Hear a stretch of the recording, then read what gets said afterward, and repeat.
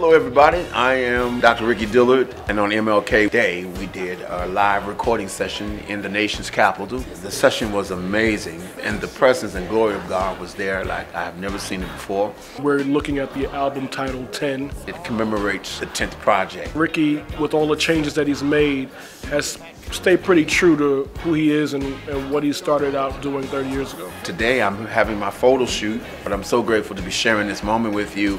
I thought it'd be cool to have 10 different Rickies in the formation of 10. With this concept, you have to come up with 10 different distinctive looks. So we take Ricky on a journey from not only being dressed up to what we are used to seeing him as, but also showing his more casual side. You're gonna look twice because the combinations are overwhelming. He has quite honestly model measurements. Top models, how about that? Basically, he gives you different angles without any direction. It's a little surreal We did six looks in two hours. because he's a baller energy. You like, like Superman.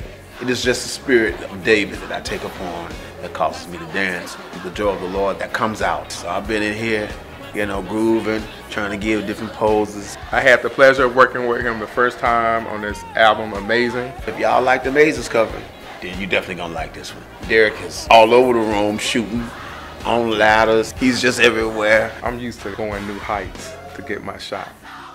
I want to make sure that I encourage those of you who will listen to this project that whatever you want, whatever you need, God promised that if you believe Him, whatever it is, consider it done.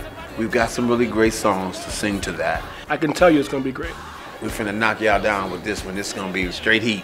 one man.